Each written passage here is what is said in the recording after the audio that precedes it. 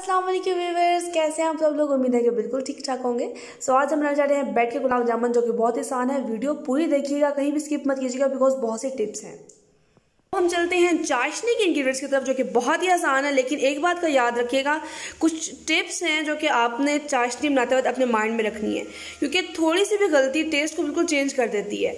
अच्छा मेरे पास यहाँ पे एक कप चीनी है और यहाँ पे डेढ़ कप पानी, यानी एक कप ये है और आधा कप मैंने इसके अंदर डाल दिया है। यहाँ पे मैंने दो से तीन ड्रॉप्स जो थे, वो सिरके के लिए, सिरका नहीं है तो आप टाटरी थोड़ी सी डाल दें, बिल्कुल चुटकी सी। अगर टाटरी भी नहीं है तो आप नींबू थोड़ा सा डाल दें। उसके क्या होता है कि चीनी जो है ना, वो बैठती नहीं है नीचे। तो और इसके बाद इलायची मेरे पास तीन इलायचियों को मैंने बारीक से कूट लिया और उसके बाद मैंने, मेरे पास है केवड़ा। अगर आपके पास केवड़ा है तो ठीक है, वरना आप ऐसा करें कि अर्के गुलाब डाल दें। लेकिन अर्के गुलाब कब डालना है? जब चाशनी ठंडी हो जाए। गर्म में अर्के गुलाब नहीं डालना। चाशनी बनाने के लिए ये डेढ़ कप पानी। दोबारा से मैं रिवाइज करवा दूँगी इस तरह। एक कप चीनी। सिरका थोड़ा सा। इलायची का पाउडर। और साथ में केवड़ा एसेंस, ये देखें।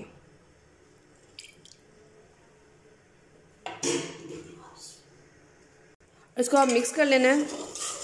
ज़्यादा गाढ़ा नहीं बनाना है इसको हमने नॉर्मल बनाना है, ज़्यादा गाढ़ा नहीं बनाना। ज़्यादा गाढ़ा बनाएँगे तो फिर वो जज्ब नहीं होगा गुलाब जामुन में। और दूसरा और ज़्यादा गाढ़ा बनाने से ये होता है कि गुलाब जामुन अंदर से रह जाते हैं, वैसे फीके और ऊपर से मीठे मीठे हो जाते हैं। सो हमने इसको ज़्यादा गाढ़ा नहीं करना। तो हिलाते रहना है जब तक सारी चीनी जो है वो अंदर मिक्स नहीं हो जाती। सो तकरीबन तीन से चार मिनट मैंने इसको बॉयल कर लिया इतनी है, ये देखें। ज़्यादा पतली भी नहीं है, ये देखिए तीन से चार मिनट बॉयल कर लिया। चाशनी हमारी रेडी अब उसको हम ठंडी करने के लिए रख देते हैं। तो अब गुलाब जामुन बनाने के लिए हमें क्या क्या चाहिए? यहाँ पे मैं सात स्लाइसिस ब्रेड की ले रही हूँ। यहाँ पे आधा कप दूध है, सारा यूज़ नहीं करेंगे साथ साथ बताती रहूँगी, कितना यूज़ करना है। आपके पास अगर मलाई है तो आप वो भी यूज़ कर सकते हैं। यहाँ पे मैं बादाम ले रही हूँ, बादाम बाद में बताती हूँ क्यों यूज़ कर रही हूँ। यहाँ पर, यहाँ पे मैं एक चम्मच ले रही हूँ ऑलमोस्ट बड़ा एक चम्मच भर के खोपरा पाउडर का। और यहाँ पर मैंने तीन इलायचियों को जो है उसके बीज निकाल कर उसको अच्छी तरीके से कूट लिया और यहाँ पर मैं ऑयल ले रही हूँ। सो अब इसके हम लोग साइड्स उतारते हैं, वापस आते हैं फिर। मैंने अब इसके साइड्स उतार दी हैं और साइड्स जो है वो आपने ज़ाया नहीं करनी, इसके आपने ब्रेड क्रम्स बनाने हैं, इंशाल्लाह वो भी रेसिपी में जल्द बताऊँगी आपको कैसे बना सकते हैं, इनको बिल्कुल ज़ाया नहीं करना। सो इसके अब हम छोटे छोटे पीसेस कर लेंगे। रफली मैं यहाँ पर चार पीसेस कर रही हूँ। आप चाहें तो इसको छोटे छोटे मतलब हाथों से भी पीसेस कर सकते हैं आप। अच्छा कुछ चीज़ें माइंड में रखिएगा, जो इसका आपने, इसकी डो बनानी है, वो ना ही ज़्यादा सख्त बनानी है, ना ही ज़्यादा नरम बनानी है। क्योंकि अगर सख्त बनी तो उसके अंदर शीरा जज्ब नहीं होगा। और अगर जब वो नरम ज़्यादा बनी तो जब आप फ्राई करेंगे उसको तो वो टूट जाएँगी। ठीक है? यहाँ पर आपने इसको अच्छी तरह से हाथों से मिक्स करके से क्रम से बना लेना छोटे छोटे पीसेस में को डिवाइड कर देना। और ये अगर बड़े बड़े पीसेस में भी हो तो परेशान नहीं होना बिकॉज़ जब आप दूध डालेंगे, इसको अच्छी तरह गूंधेंगे तो ये खुद ही छोटे छोटे पीसेस में डिवाइड हो जाएगी।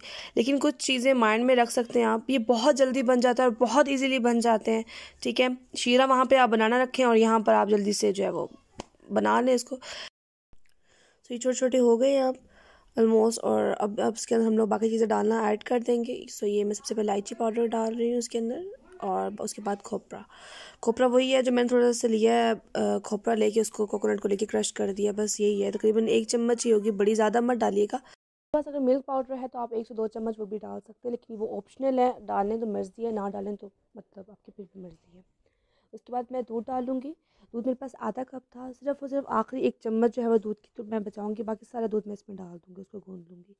ये भी फ़र्क हो जाता है कभी कभी कुछ ब्रेड अगर मिल्क ब्रेड है, उसमें दूध कम डल जाती है, कुछ ब्रेड्स में ज़्यादा डलती है तो आप डो को देखिए कि डो कितनी सख्त मैंने बनाई है और कितनी नरम बनाई, यानी आप डो को देखिए कितना कैसा मैंने बनाया, आपने वैसे ही बनानी है। और वही मैं बार बार बात रिपीट करती हूँ कि सख्त ज़्यादा नहीं बनानी, ना ही ज़्यादा नरम बनानी है, आपने थोड़ा सा दरमियान में रखना है उसको। और आपने उसको गूंदना है, जैसे आप आटे को गूंदते हैं। रीज़न क्या है? ये देखिए कितनी नरम है। रीज़न क्या है कि कभी कभी ये होता है कि आ, कुछ अंदर पहले भी बताया था कि बड़े बड़े रह जाते हैं पीस रह जाते हैं और आपको जब आप गोल बना उनके पेड़े बना रहे होते तो फिर वो बाहर नज बाहर को निकल आते हैं ये देखें। कम्प्लीटली बहुत ही अच्छे तरीके से मैंने उसको गूंद लिया है और अब मैं इसके पेड़ बनाना स्टार्ट करती हूँ। ऊपर से मैं ऑयल लगा लूँगी। ऑयल के अंदर गूंदना नहीं है। ऑयल बस ऊपर ऊपर लगाना है ताकि जब आप पेड़े बनाएँ तो वो आपके हाथ के साथ ना चिपके। आप ऑयल को हाथों पे लगाएँगे और इजीली फिर पेड़े बनाएँगे। सो अब हम स्टार्ट करते हैं पेड़े बनाना। सो मैंने यहाँ पे ले लिया है एक छोटा सा पेड़ा और उसको पहले मैंने गोल सा बना लिया, जैसे पेड़ा बनाते हैं, पेड़ा बना लिया और उसके बाद मैंने इसके अंदर उंगली लगा कर थोड़ा सा जगह बना के इसके अंदर मैंने बादाम डाल दिया। अब ये मैंने क्यों किया और फिर मैंने उसको बंद कर दिया।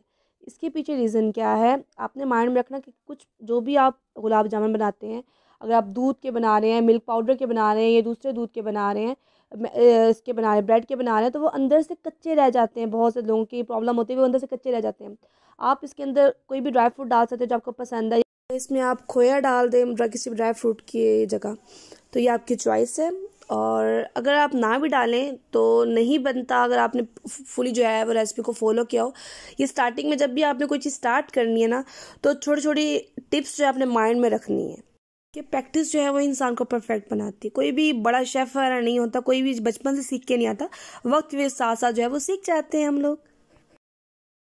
ये देखिए, यहाँ पे मैंने इलेवन बना लिए हैं, बिल्कुल बराबर है, ठीक है, ना कोई ज़्यादा, ना कोई बड़ा, ना कोई छोटा। अब हम इसको फ्राई करेंगे। सो अब ऑयल डाल रही हूँ मैं इसके अंदर फ्राई करने के लिए। अच्छा कुछ चीज़ें याद रखनी है। एक तो इसको डीप फ्राई करना है नंबर टू इसको ज़्यादा गर्म तेल में नहीं डालना है, इसको नॉर्मल गर्म तेल में डालना है। और नंबर थ्री जो है, वो इसका कलर ज़्यादा डाल जितना आपको पसंद है, आप उतना डाल सकते हैं। और जो इसमें ऑयल है, वो यूज़ ना हो। मतलब आपने कुछ पहले फ्राई किया और फिर आप डाल रहे नहीं। आपने इसमें जो ऑयल डालना है, वो बिल्कुल साफ़ सुथरा होना चाहिए। क्योंकि अगर आप कुछ चिप्स फ्राई वगैरह करते हो या कुछ और फ्राई करते हो तो फिर वो उसका टेस्ट आता है इनमें। तो इसको, इसमें जो आपने ऑयल डालना है, वो यूज़ पहले ना हो। सो अब ऑयल बिल्कुल नॉर्मल है, ना ज़्यादा ठंडा, ना ज़्यादा गर्म। तो अब हम इसके अंदर डालते रहेंगे।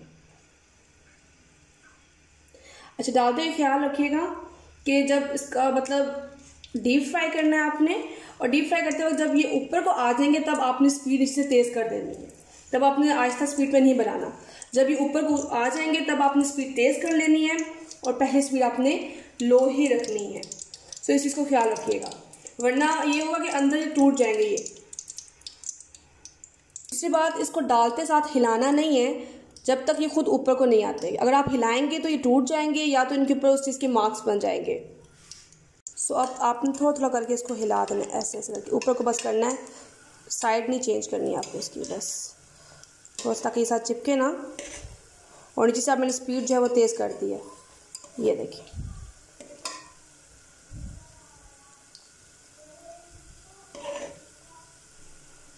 कलर जो होने लगे, अब आपने इसको आहिस्ता आहिस्ता जो है वो हिला लेना है। ये देखो। कलर चेंज हो रहा है। सो ऐसा आपने ऊपर से नहीं लाना, इसको दरमियान से इस तरह तक हिला सो स्पीड मेरी बिल्कुल तेज़ है।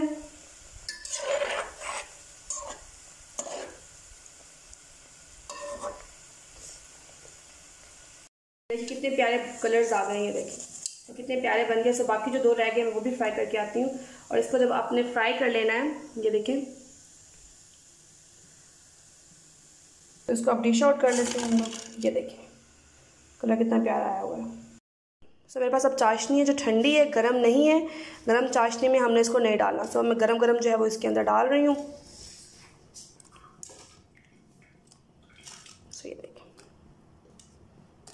और ये बनाइएगा। इंशाल्लाह बहुत मज़े के बनते हैं और बहुत जल्दी बन जाते हैं। सो आपने इसको जो है वो एक दफ़ा हिला लेना अंदर ही। सीड्स कलर कितने मज़े का कलर लग रही है बस इसको आपने डालने के बाद आपने जो है वो इसको तकरीबन 10 मिनट के लिए रख देना है। और ये जो है फूल भी जाएँगे और इनके अंदर तक रस चला जाएगा। सो 10 मिनट के लिए आपने इसको रख देना है। उसके बाद फिर मैं आपको दिखाती हूँ कैसे हो जाते हैं। सो ये गार्निशिंग भी हमने कर ली है और देखिए कितने मज़ेदार गुलाब जामुन तैयार हो गए हैं। सो ज़रूर ट्राई कीजिएगा। सो एक मैं निकाल के आपको दिखा देती हूँ। यहाँ प्लेट में थोड़ी सी चाशनी लेते हैं। और ये जो है ना ये, और ये इतने मज़े के, और देखिए कितने नरम बने हैं। बहुत मज़े के बनते हैं। इसमें से बादाम निकला से मैं आपको ट्राई करके दिखाती हूँ। ये देखिए, ये नरम, कितने नरम है ये। और ज़रूर ट्राई कीजिएगा। सो ज़रूर ट्राई कीजिएगा, अपनी दुआओं में याद रखिएगा चैनल प्लीज़ सब्सक्राइब कर दें अपने फ्रेंड्स एंड फैमिली में शेयर कर दें। अल्लाह हाफिज़।